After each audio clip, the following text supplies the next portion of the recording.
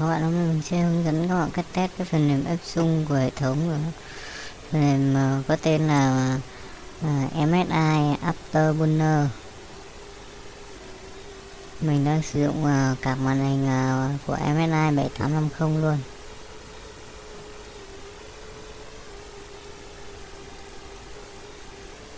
tám năm không. Là phần mềm Afterburner của MSI là phần mềm khá nổi tiếng. Mình sẽ tải cho các bạn xem.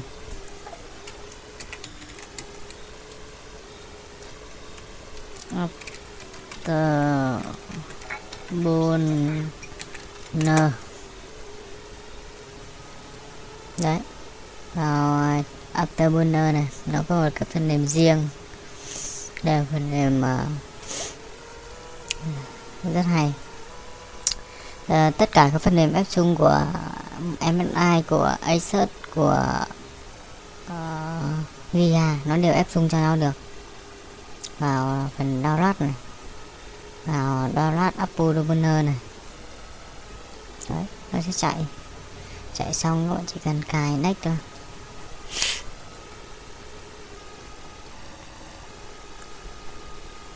Đây là phần mềm ừ, Apple Burner đây là app cho Android này.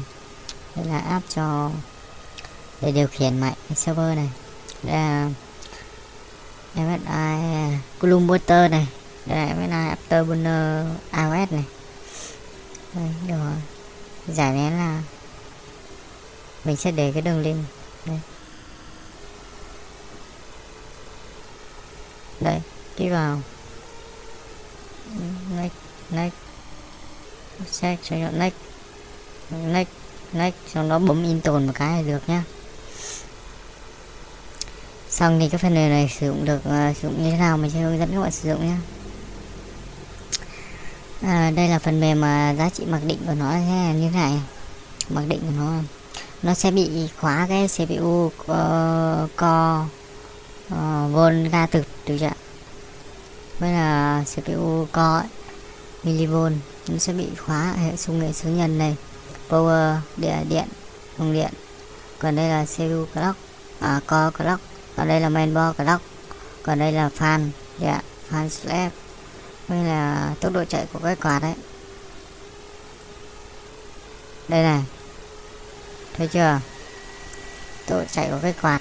Bây giờ các bạn đẩy xuống các bạn cứ đẩy nhẹ lên như này đó đẩy lên từng tí đừng có đẩy cao quá đẩy cao quá nó sẽ bị lỗi hệ thống và màn hình của các bạn sẽ bị đứng đứng hình cho các bạn cần phải reset lại máy. Được chưa điều chỉnh nhẹ nhàng đến tầm đấy, được rồi. Năng nó hơn một tí là được đấy các bạn chỉ chỉnh về một hai mình thôi không gắn điều điện nữa. Đây các bạn vào phần setting này.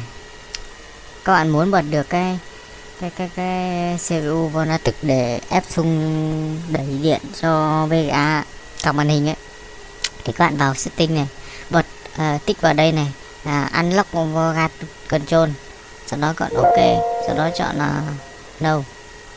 Sau đó đóng đi bật lại. Nó sẽ mở hệ số nhân ở đây. Được chưa? Cả ấm online.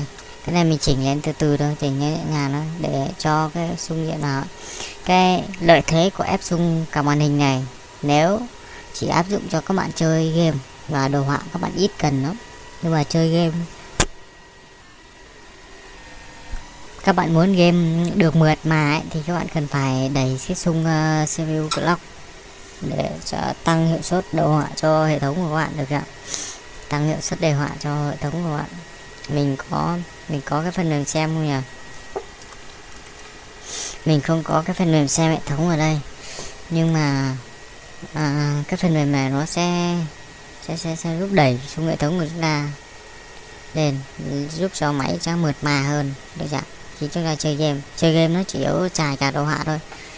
Đấy, trải cả màn hình ấy. VGA nó cần ít CPU lắm. Nếu mà các bạn à, làm đồ họa nặng ấy, thì nó mới cần CPU nó cũng trải đồ họa. Nhưng mà nó chủ yếu là trải CPU được chưa? Ok nó chỉ đơn giản thôi. Chúc các bạn thành công các bạn có thể download cái phần mềm này về xong đó sẽ setup hệ thống của ta. Được chưa? Ok chào các bạn nha.